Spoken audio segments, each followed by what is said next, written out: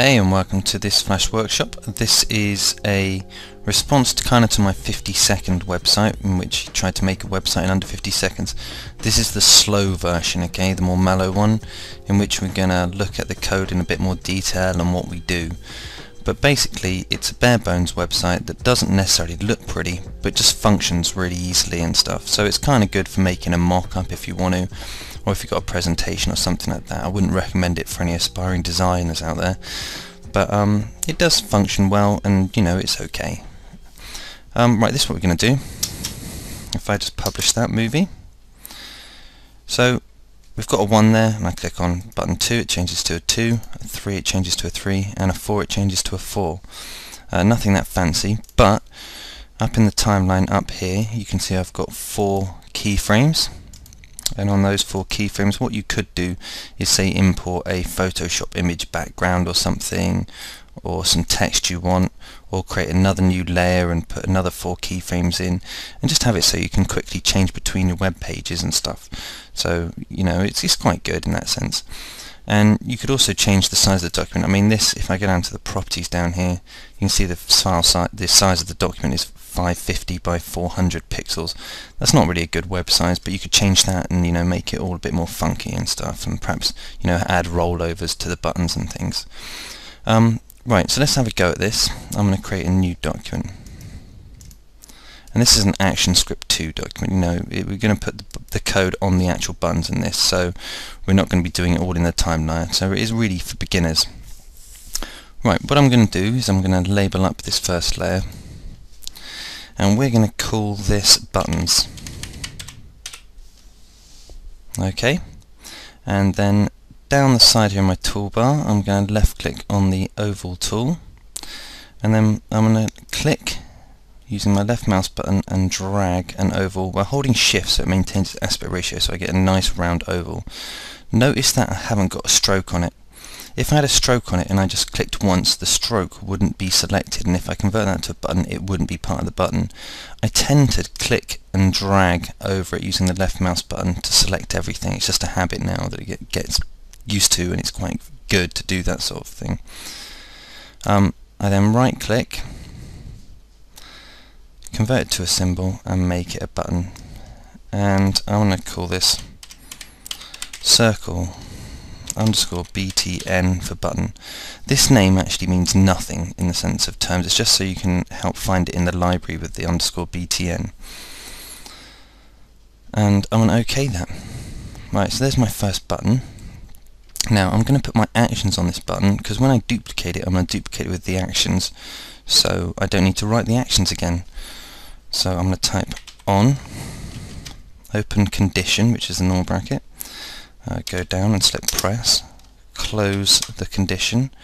Now we've got a condition which is saying when we press something. Now if I open up the event, this is what's going to happen when we press the button. So these are the event handlers. I type go to and with a capital A, stop with a capital S. Then I need to open up a condition again and this is which frame we're going to go to. I'm going to choose frame 1, close the condition, semicolon, and close the event handler. The semicolon actually, if you press this auto syntax, auto format thing, generally it will sort of like put that in for you, so you don't really have to worry all the time about that, okay? Right, that's our first button. As you can see, it's going to go to and stop frame 1. Um, we're going to make this four times now, so I'm going to hold down Alt and click and drag on that button and it duplicates the button. This is a shortcut for a lot of Adobe programs actually as well. Alt, left click and drag again. Keep holding Alt but just let go of the click. And now I've got four buttons there.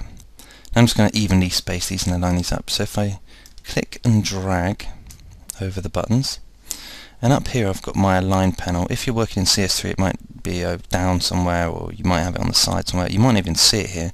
So if you go to Window, you can always find the Align tool there, or it's Control K as the shortcut. Right, so I'm going to align these and make sure that to the stage is not selected. See if it's down, it's selected. If it's up, it's not selected. And here's my space, and I'm just going to space those evenly, and they'll shift into position, and I'm going to align them straight with each other. Now if I come back here, you can see they're quite nicely spaced and aligned. Right, on the timeline up here, I'm going to insert a frame. And now those buttons last for four whole frames. That's one instance. Actually, it's four buttons, but it's they exist on this one timeline for four frames. And then I'm going to left click on the first one. Do you notice how I click off as well? If they're all selected like this and I click on one, it doesn't get rid of it. So I have all four of them selected. I left click off them and then click on the first one. Right, so that goes to number one. I click on the second one, and this one's going to go to frame two.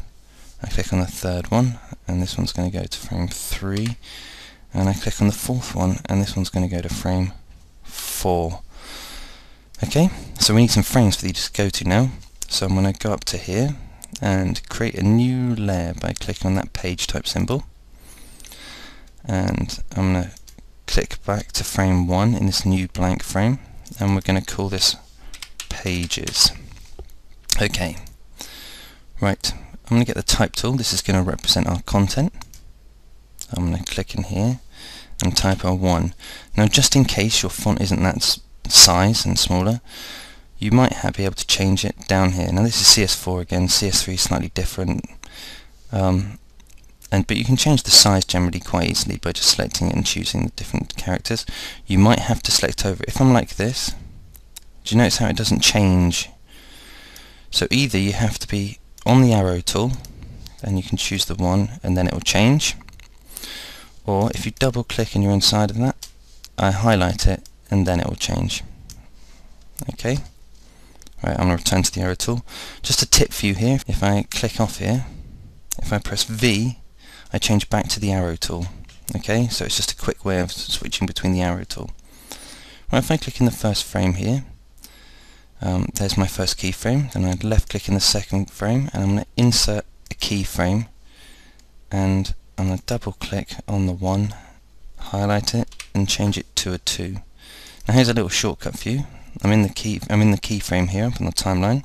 If I press F6 that makes another keyframe for me as well. So I'm going to change that to a 3. And I'm going to click up here again and press F6 and I'm going to change that to a 4. Right, so we're going to go ahead and publish this movie and it's Control and Enter on a PC or Command and Enter on a Mac. Let me do that. And as you can see it's going 1, 2, 3, 4, 1, 2, 3, 4, 1, 2, 3, 4, 1, 2, 3, 4. And that's because it's looping.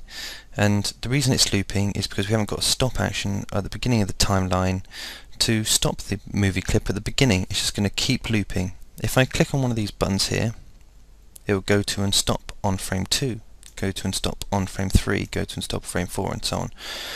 But Flash works in loops. So when as soon as it's finished timeline, if it hasn't had a command to stop it, it will go back to frame 1 again. So I'm going to close that down and then I'm going to go over to the timeline insert a new layer. I'm going to call this layer AS for action script. Left click in the first frame. And down here I'm going to type stop, open bracket, close bracket, and semicolon. Publish it now, and it's stopped on frame 1, 2, 3, 4. And that's basically how to create a simple bare bones four page website.